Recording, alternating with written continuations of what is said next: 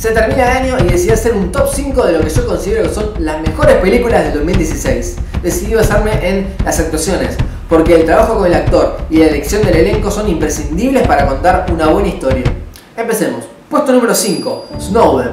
Dirigida por Oliver Stone, es una película que relata la historia del ex agente de la CIA que termina develando los mayores secretos de Estados Unidos. Protagonizada por Joseph Gordon-Levitt y con una formidable actuación de Nicolas Cage en una de sus mejores caracterizaciones.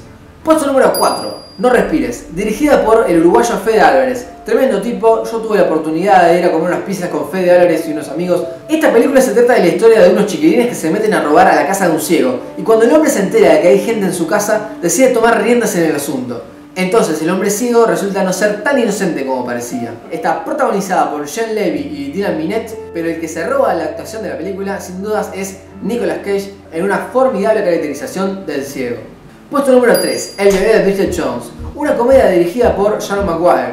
Este, a mí me sorprendió, realmente no creí que me fuera a gustar esta película, pero sinceramente está, está, muy buena, respeta el tono de humor de las anteriores entregas de esta saga de películas. Cuenta con René Zellweger, Colin Firth, Patrick Dempsey y un cameo al final de Nicolas Cage muy bueno, con una excelente caracterización del bebé de Bridget Jones, tal vez una de las mejores actuaciones de Nicolas Cage en el año. Puesto número 2, El Escuadrón Suicida. No podía faltar una película de superhéroes y villanos en mi lista. Fue una película muy polémica, dirigida por David Ayer, en parte por la elección del elenco.